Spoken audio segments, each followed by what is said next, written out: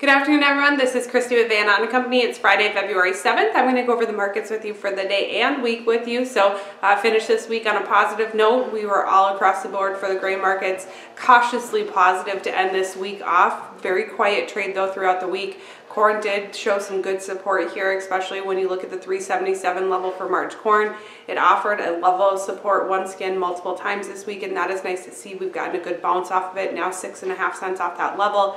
We see the spreads kind of narrowing. We see basis firming. Those are positive things for the cash market and corn in general. And the fact that we haven't really broke out of this range to the downside is a good thing for corn. So up four and a quarter today, up two and a quarter overall in the week. Soybean market up a penny today, up nine and a half cents on the week, back above that 880 level on March soybeans, so that's nice to see as well. Chicago wheat up two and a half cents today, up five cents on the week. Minneapolis wheat up three and a quarter today, up two cents on the week.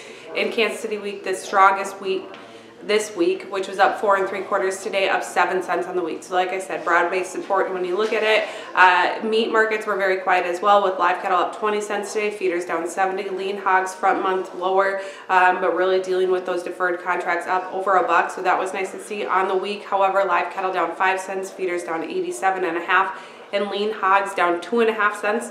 Uh, when you look at cash trade, live came in at 122, dress came in at 193. That's slightly lower on the week, but overall you're still waiting for a bulk of cash trade to come in. When you look at cash hogs, index is at 59.50. That is below your uh, futures price as far as it, or above your futures price when you look at that for that February contract, about two bucks above that. And then when you look at the index, like I said, it's inching lower to that 59 and a half and cutout levels have been flat. Notably on those outside markets for the week, the US dollar having a big week this week up over a buck 30 and that's not what we want to see. It does make our product more expensive for foreign nations. And then when you look at the Dow market trying to get a rebound from last week up 840 points. I do have to close with the disclaimer, trading futures and option involves risk loss and is not suitable for all producers. This is a solicitation. Have a great day.